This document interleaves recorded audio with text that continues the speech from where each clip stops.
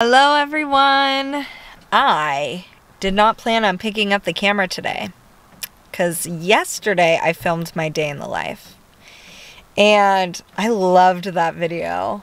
I don't know why it was so boring, but I had fun filming it and I had fun editing it. I loved the music. I think I'm going to do more videos like that for sure. But anyways, the reason I need to film right now is because yesterday I put the power steering fluid in my engine. And today I parked, I'm at my grandma's house currently, and I looked, I put Dragon outside on the tether, and so I have to frequently check on him to make sure he's not tangled on anything. He he goes underneath the van all the time. So I ended up looking under the van for him and I saw fluid leakage under the front of my van. So my initial thought was it's got to be power steering fluid because I haven't noticed any uh, fluid leaks at all. I don't investigate every time, but I but I periodically look just to be aware. Plus, remember my coolant, I thought maybe had a leak or something. So, um, I kind of am always looking for that. So, uh, I, it, anyways, the color looks like lime green, and the color of the fluid for the power steering was like a blue color. And, um, so color wise, it looks like coolant, but it might be power steering. So right now, I'm just gonna go check the power steering fluid levels. Oh. I just waited about, maybe it's been an hour and a half um, for the engine to cool down because when the engine's hot, the fluids expand so they can look more full. Power steering. There's definitely some in here though. That's good.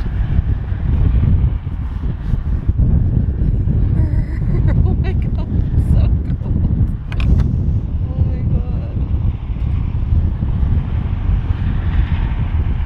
See, that looks like pretty even with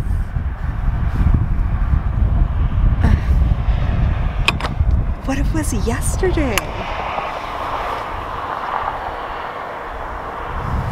And now I can't even tell what the, like if it's leaking more. The snow is melting here and going, it's going all the way under my car. So now I can't tell where the leak is. Oh my God. The sun was out earlier. And it was like kind of warm. Now it's just freezing cold. Okay, how's it going everyone? I have no idea how this vlog is gonna go, uh, or where I'm gonna start, or where this clip is going to be inserted. But,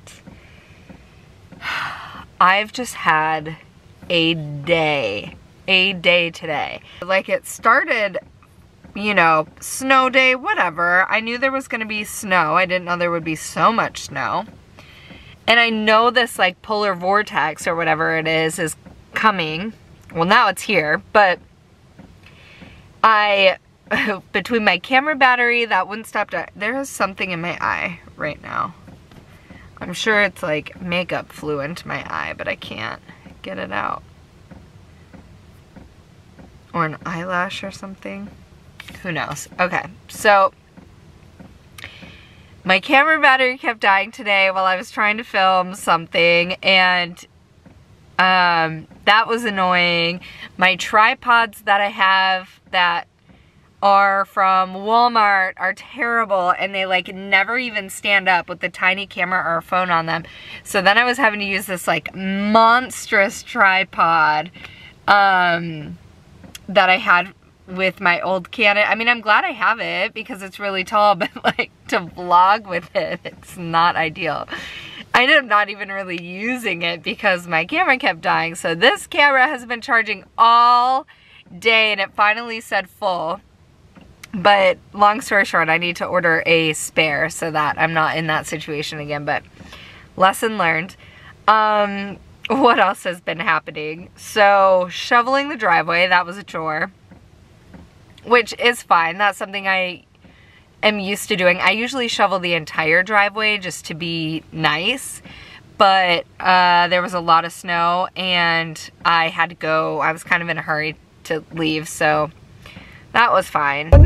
You guys, I can't believe I just got out of my driveway.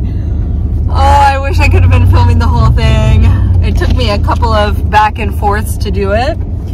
One of my really nice new, uh, nah, I say mine, it's my mom's house. Everything is my mom's, but I just, you know, when it comes to moms, it feels like whatever's theirs is yours, you know what I mean? so one of my mom's neighbors came over and, um, and offered to snow blow the driveway, but I wanted to look cool, so I was like, no, I got it. And I just like barely shoveled enough space.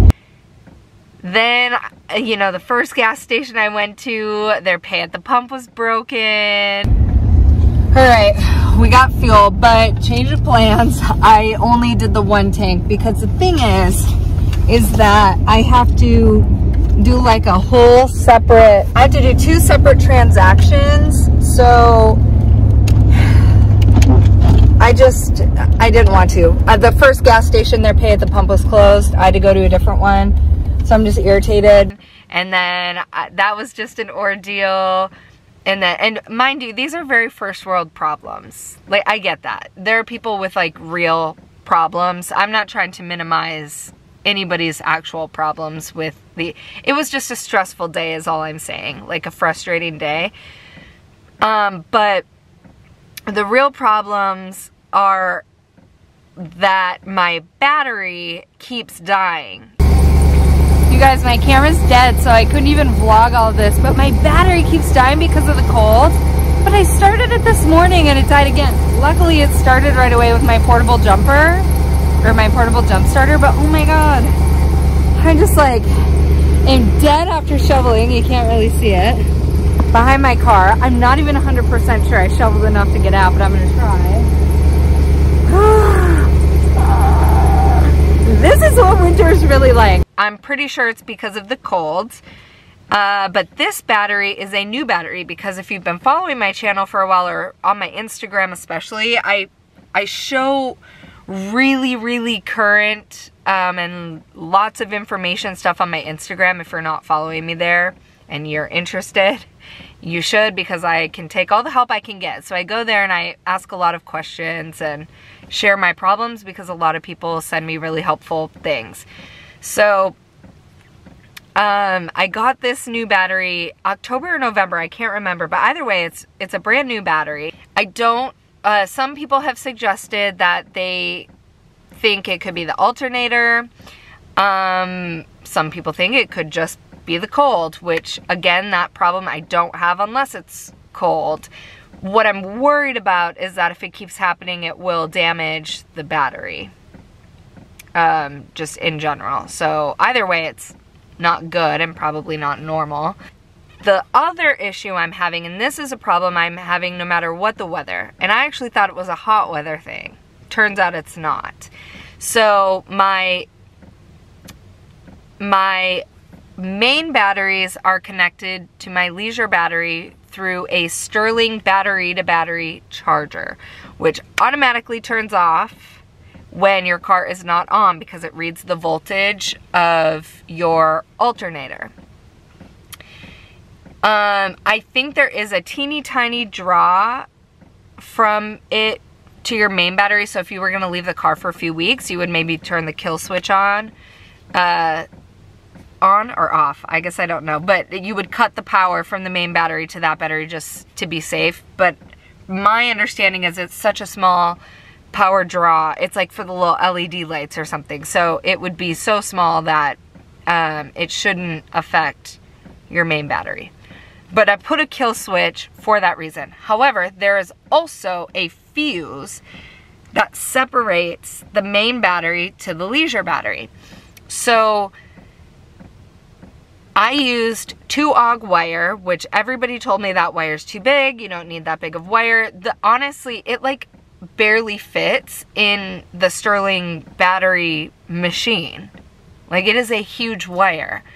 And um and the fuse they told me to get for the Sterling, and this came from the Sterling guys, told me to get a 40 amp fuse. Well, I had a 50 amp already, so I just used that.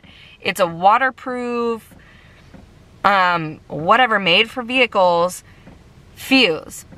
And for whatever reason, it keeps popping. Um, so it's one that it has a little switch that pops in and out. So when it pops and breaks the fuse, you just push it back into place, which I'm lucky for that, that I'm not having to replace a fuse every time. I'm just having to pop it back into place. But I cannot understand why it's breaking because between the wire being so big and the fuse being bigger than what is even required, it shouldn't be pumping so many amps that it's breaking the fuse.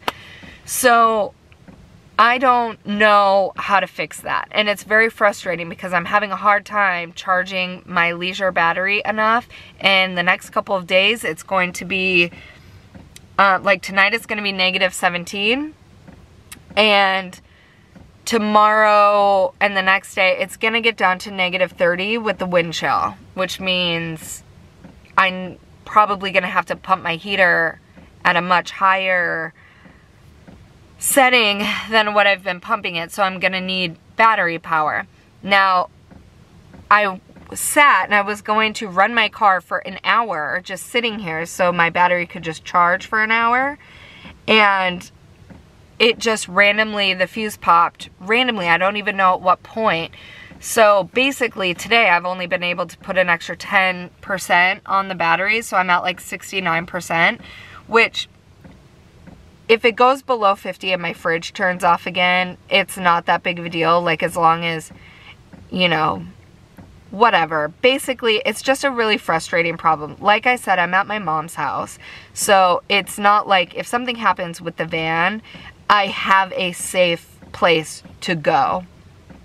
Um, it's just frustrating because I really don't, I mean, this van is my heart and soul and my home and I really don't want anything to happen to it and um, having problems like that are just frustrating because I don't know how to fix it and I want to fix it and I want it to be okay. So the good news is, is I can pop it back into place, which I already did. So before I go to sleep, I plan to run my car for hopefully at least another half an hour and get a little more charge on my battery, but also um, on my main battery before I go to sleep because it is going to be negative 13 tonight with the wind chill. So I just want to, you know, try and take care of my battery, my main battery as much as possible. Um, I'm also debating, do I set an alarm for like 3 o'clock in the morning and get up and start my car and let it run for another half an hour just to um, again, maintain that main battery. I don't know. And this is all crazy because I don't feel like I need to be in Minnesota right now except for Dragon's vet appointments. And um, that is the only reason I'm here. So if you're watching this and you're like, Jesus, woman, like, leave. You have a van. You can drive anywhere. You are right, my friend. And I want to leave. I would have left today. Today, I had such a day that I was like, I don't even care to be in Minnesota right now. But I have to get Dragon stuff taken care of. I mean, he's almost six months and I've kind of procrastinated selfishly for my Florida trip um, already.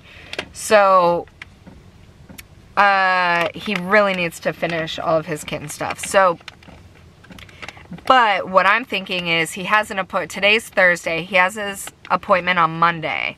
And that's like the pre-neutering appointment. Um, I'm debating if they can't get him in for a neuter like immediately, then I might just say, look, let me find a vet in California or Arizona or Las Vegas or I don't know, anywhere that's even a little warmer. It could still be cold. Just not like this cold and just see if they can send over the blood work there and I can get him neutered somewhere else. And This is just, yeah. Crazy. Crazy, crazy. Anyways, I wanted to film like a really exciting, cute winter vlog. I was gonna film me like frolicking in the snow with my dog and my cat. Like, instead today I was just like hating everything.